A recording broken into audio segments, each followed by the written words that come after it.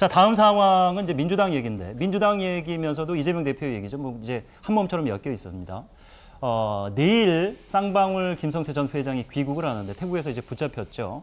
이재명 대표의 변호사비 대납 의혹. 물론 이제 다른 의혹들도 많습니다. 다른 죄명도 많고 그런데 그 안에 어, 이재명 대표의 과거 재판에서 변호사비를 대납해 준 거 아니냐라는 의혹을 받고 있습니다. 근데 이제 어제까지 나온 얘기는 이제 서로 이제 아니라고 하는 분위기인데 아직도 그 분위기는 이어지는 것 같은데. 근데 지금 뭐 알 수가 없는 거잖아요.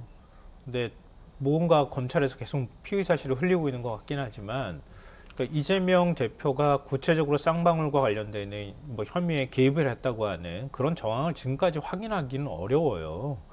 김성태 전 회장이 바깥에 외국에 나가 있었는데 그걸 확인하기도 어려웠을 거고요. 검찰 네. 입장에서도. 그리고 진짜 주요한 의, 그뭐 혐의라고 지금 자꾸 나오는 얘기는 뭐냐면 아태평화이라고 이화영 전 의원이 관여됐다고 하는 거기에서 대북 송금을 했다더라. 근데 경기도도 거기에 관여가 됐다.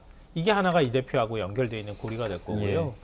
또 하나는 뭐 이른바 이제 무기명 채권 발행할 때 20억 원 정도인데 이재명 의원이라 의원이 어 대표가 어, 당시 이제 변호사비로 냈다고 하는 게 지금 2억 원 남짓인데 너무 터무니없이 적은 금액이다. 네. 그러니까 결국 그 20억 원이 무기명 채권 형태로 해서 변호사비로 대납이 됐을 것이다. 뭐 이렇게 크게 두 가지 혐의인 것 같아요. 제가 볼 때는.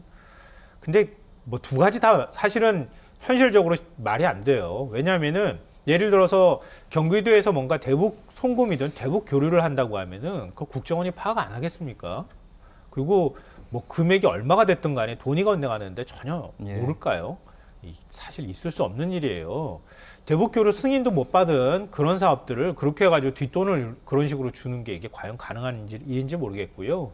이화영 전 의원이 연결이 돼 있는 고리면은 또 모를까. 어, 다시, 당시 경기도지사가 그걸 직접적으로 지시하거나 이렇게 얘기를 했다고 하는 거는 그 상상력의 소산이다 이렇게 보이고요. 둘째로 변호사비 대납 의혹과 관련해서는요. 네. 제가 여러 변호사들을 만났는데 혹시 만난 다른 변호사들을 얘기를 또 들은 분은 또 달리 얘기할 수 있겠지만 어, 이런 거물 정치인이잖아요. 대선 주자급 되는 사람과 관련돼 있는 사건이면은 변호사들이 그냥 돈 안 받고도 가가지고 해주려고 한다는 거예요. 그러니까 그리고 또 그 액수는 별로 신경 쓰지 않는, 않는다는 거예요. 네. 그러니까 이렇게 큰 사건이니까 뭐 이명박 전 대통령이 수십억 변호사비로 썼다고 하는 것처럼 혹시 그런 사람들은 그렇게 썼을 수, 썼을 수 있겠지만 예. 일반적으로는 2억도 적은 금액이 아니라고 얘기를 합니다. 그런데 2억이 너무 적은 금액이니까 돈이 훨씬 더 많이 건네졌을 것이고 건네졌는데 쌍방울이 마침 뭐 무기명 채권을 발행했는데 그게 어디로 갔는지 몰라. 그러니까 그 돈이 갔을 거야.